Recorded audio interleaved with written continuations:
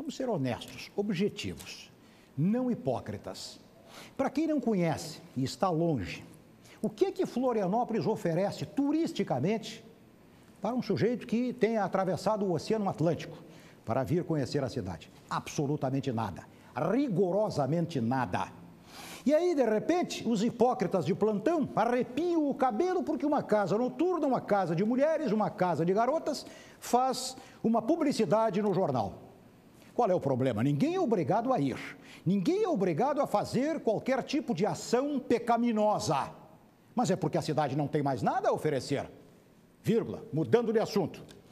Quem chega hoje à cidade sem conhecê-la parece que está chegando à quadra em torno do Capitólio, da Casa Branca, eh, nos Estados Unidos. Segurança de Marinha, Aeronáutica, Polícia Civil, Polícia Militar, Polícia Federal, uma segurança absolutamente neurótica.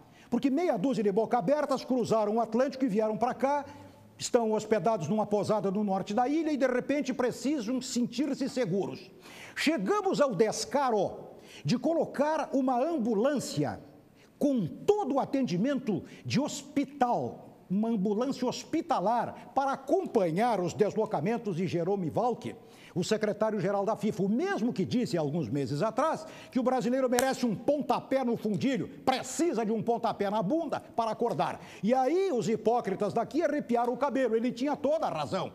Agora, quem é que coloca uma ambulância para andar atrás dele? Quem? Os mesmos que negam esta ambulância para a população pobre? Para aqueles velhos, para os idosos, para as crianças, para os desesperados que estão morrendo nas calçadas? Uma segurança pública que nós, cidadãos desta cidade, deste estado e deste país, não temos, mas que enganosa, falaciosamente, esta segurança está sendo oferecida para os caras que vieram para cá para um torneiozinho de futebol. É isso? É.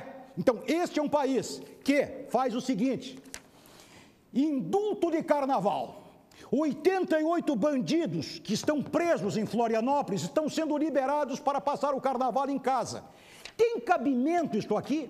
Uma segurança neurótica para alguns poucos em torno do futebol e a população absolutamente desamparada. E alguém liberando bandidos para o indulto do carnaval. Este é o Brasil de hoje? Sim, e especialmente o Brasil dos últimos 12 anos. Para ser mais claro, só o sol do meio-dia. É isso aí. Mas o Senhor vai nos ajudar. Não vamos ganhar a Copa, porque se a ganharmos, os oportunistas de plantão, os populistas safados, vão faturar em cima disso. Não hão de fazê-lo. Não hão. São Pedro não é brasileiro quando tem a chuteira no pé.